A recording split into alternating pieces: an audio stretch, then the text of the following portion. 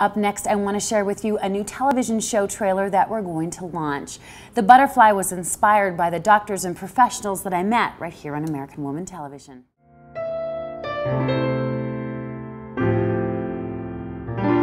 In this trailer, you will meet Anne Hanson. Anne's son Todd has Duchenne's muscular dystrophy.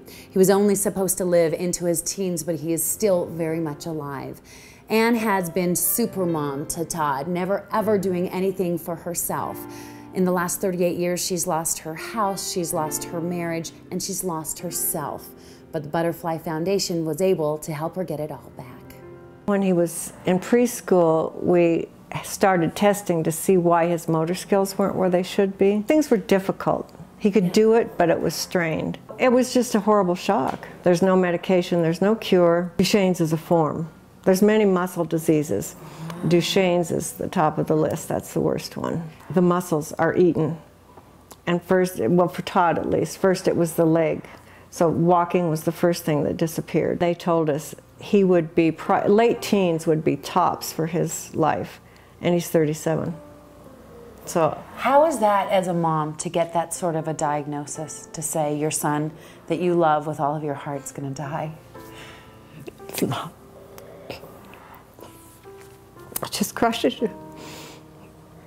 You do anything to trade. I had to learn truly what one day at a time really means for us. And what are your hopes for Todd?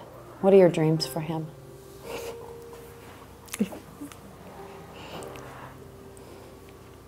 that there could be a cure and that his and the muscle tissue could be rebuilt. I know that you had to go through a bankruptcy. Mm-hmm. But you still had Todd and you still mm-hmm. had Tammy. I was forced into that. I lost everything. But I didn't because I still had my family and my friends that stood by me. You can lose everything material, but if you don't lose your family and your friends, you haven't lost much. Because when it's all said and done, that stuff goes in boxes. There isn't a me without Todd in my life. So I don't go there.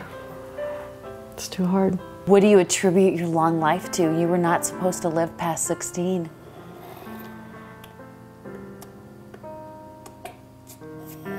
The care of your family, your dad, your sister, your mom. I am so excited to take care of her. She is a sweetheart of a lady, and, and, and she deserves this.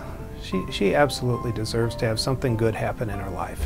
Hi, Anne. I'm Dr. Smith. How are you doing today? Fine, thank you. It's nice to meet you. Well, good.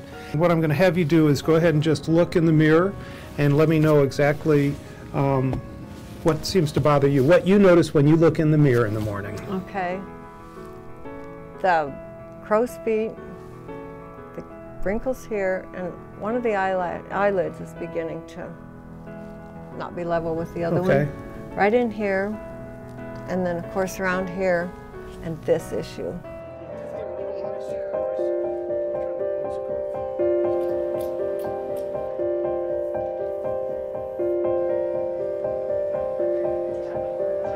I've been blessed. Uh, the Lord has been absolutely wonderful to me. And I think it's my responsibility to give something back. I, I think that I have, I have that calling. I don't like my brown teeth. They just, they're stained. But I still laugh and smile, but it's protected, guarded, and um, well, just not show my teeth any more than I have to. It's my duty, uh, basically. Uh, we all take things for granted and it's nice to be helpful to, to someone who really is in need. Even changing the color alone would be a great thing, but we're going to change the shape and make them certainly a lot more attractive. And I think her self-confidence will be immediate. It's unbelievable. It's so generous. It's just like everybody else you've put in my life.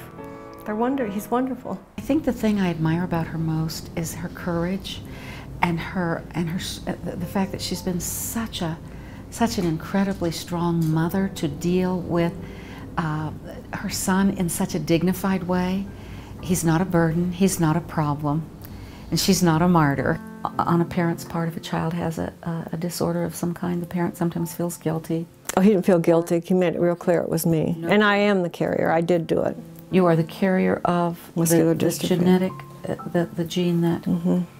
And and what about anger? Was he blaming you? Do you think he? He did at first, yeah. Outwardly, or? Well, it came from you. Mm -hmm. It just got so bad that he was pulling away. I thought, I'd rather do it by myself than live like this. And he was quite willing to leave. Do you remember? Was there a, a sense of loss after after how long had you been married? 25 years. And married 25 years, even though you were willing to have him go and he was willing to go. Was there a sense of loss or was it more relief? It was relief. No, I didn't cry over it. You didn't. And you don't and never have felt a need to grieve about that loss? I didn't have I didn't have space Yes. to Yes. to worry about. So what? He doesn't want us Okay. So what filled that space? taking care of Todd. She's taken some time and now she's ready and she's and she's having fun with it and that's a huge step forward and it's something Todd wants and it's something that is good for Todd. Exhale. Good. And elbows are wider. And exhale. Okay, now I'm going to change it. We're just going to go to knee to inhale for five. Anchor straight. Draw your belly button come up into tight. I really wanted her to change the way that she was taking care of herself. And really, because she didn't ever put herself on the list, she wasn't really loving herself and taking care of her body because Todd was coming first.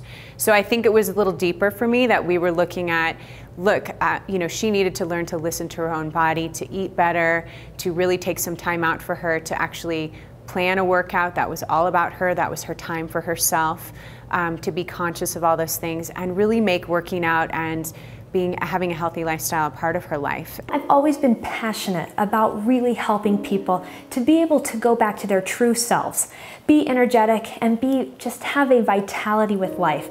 And when I was first approached about the Butterfly Foundation, that is it by definition. I'm having trouble getting my thyroid regulated, and so far it hasn't been pinpointed what the problem is.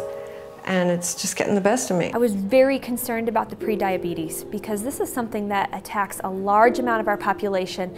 And honestly, Nancy, once it's there, it's a hard one to get rid of. Um, not only that, we had some heart disease, we had some vitamin deficiencies that were on the lower end of range, which can lead to osteoporosis in women. And we also had some hormone imbalances. So we really took a look at everything and put together a plan of action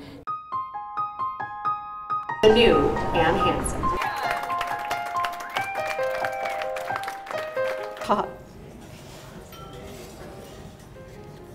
I'm blessed that God let me be your mom. My kids are my world. And Todd is the one that got stuck living with me. I will just say, I'm the one that walks, but he carries me.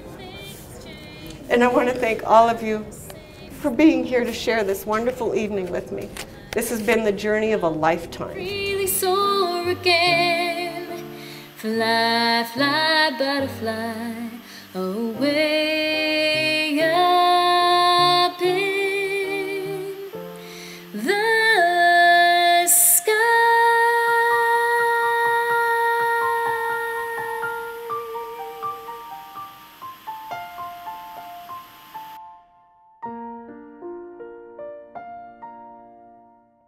If you would like to nominate someone for a makeover on the butterfly or you want to donate to the butterfly, just go to our website, a butterflyfoundation.com.